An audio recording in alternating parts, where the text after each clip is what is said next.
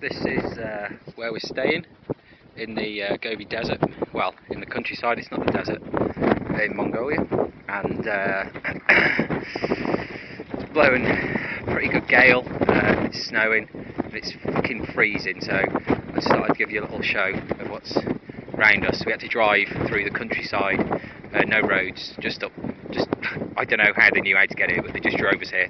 So it cost us about uh, five pounds worth of vegetables for the family and about uh, three pounds, four pounds for the petrol. So here we are, is the view.